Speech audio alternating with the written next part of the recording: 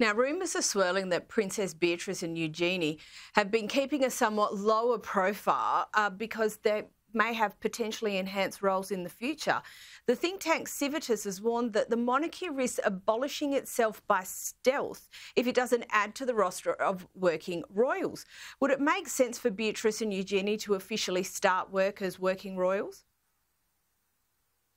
I mean, that's something that's that's you know, stranger things would have happened, should I say? Um, and we have to remember that this, the the Megxit, effectively, the exit of the Sussexes from you know the royal family, wasn't just a loss in terms of you know them losing literal working members of the royal family, but you also lost resources and assets.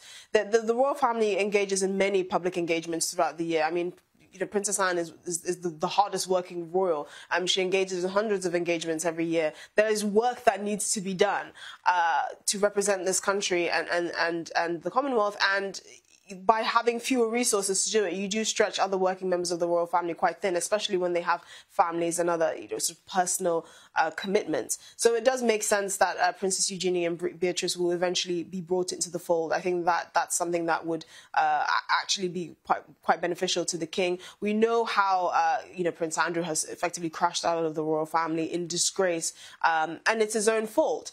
Um, but the question is, should his daughters be punished for it? At the end of the day, the royal family is a, is a much bigger than than one or two, or in, in this case, three disgraced members um, exiting it in a very unfashionable way.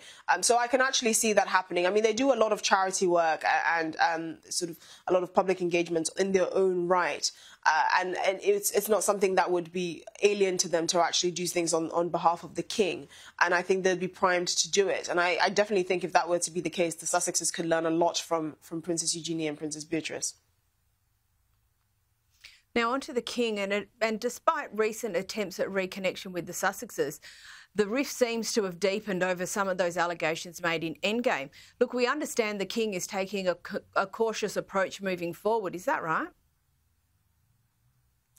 Yes, I mean, the, we, we know from reports um, within the royal family that the king is keen on some sort of reconciliation. This is a man in his mid 70s. He only has two children. He, he's obviously, you know, nearing the end of his life or at the point where you start to reflect on things. Uh, he's not happy about the situation between the Sussexes and the royal family or the fact that this rift risk, really risks calcifying in this way. But, you know, it, it's very hard to be, for him to justify trying to bring the Sussexes back into the fold, especially given the latest allegations made in, in Omid Scobie's book Endgame, where you know you have the likes of the King and, and, and, Princess Catherine effectively being humiliated by being called racist without having the right to reply. Uh, and, and I can imagine you know just getting on with it is, is very difficult when you have someone assassinating your character in this way. So it will be very it, it, will be a, such a tightrope for for it, it is such a tightrope for the King to, to to to walk to try and you know have some sort of relationship with his his son Harry and, and his family, but also try and maintain the peace uh, within his family. I mean, we heard reports that the Sussexes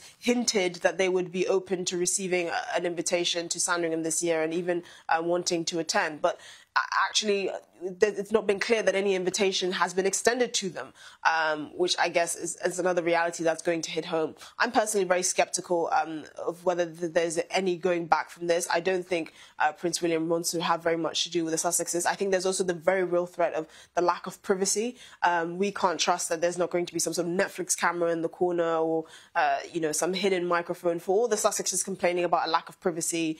Um, and even Prince Harry's recent case where he was awarded over 100 £100,000 in, in a phone hacking scandal, you know, it's very likely that other members of the royal family have faced a similar ordeal. And for, for one of your own, for someone within your own circle to effectively be doing the same thing that he's accused others of doing um, by publishing memoirs and going to Netflix and, and, and, and publishing secrets of the family in such a tawdry and, and and, and uncouth manner. You know, how can King Charles bring them back in the fold? There would be no peace for anyone. You just, it's, it'd be like bringing the enemy within, and it, it would be a deeply uncomfortable experience. So I know King Charles is very cognizant of that, and unfortunately, this is what he's going to have to face for, I suspect, many more years. And lastly, there have been extra invitations sent for Christmas at Sandringham, but not the ones that you might expect. Esther, who's coming? So we know that uh, Queen uh, Camilla's children and her grandchildren are coming to Sandringham, and the king has been very deliberate in actually uh, integrating uh, Queen Camilla's family into the fold. Uh, we know that uh, you know, she, the, the, her grandkids and uh, played a prominent role in the king's coronation earlier this year. Um, and again, the juxtaposition is quite an incredible thing to see. You have the king's own son, uh, Prince Harry, and his his wife and, and children that are really have nothing to do with the royal family in any significant way. But you have the queen consort's uh, children and grandchildren really being integrated into the fold. Um, and it's, it's quite an interesting thing to see because I can't see this, this now status quo changing at any point. Unfortunately, this is how things are going to be for the foreseeable future.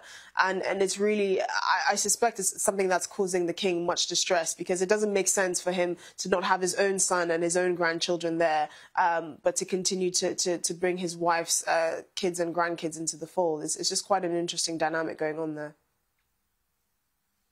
Esther Krakue, as always, thank you so much for joining the show and for your observations. Uh, no doubt we'll catch up shortly.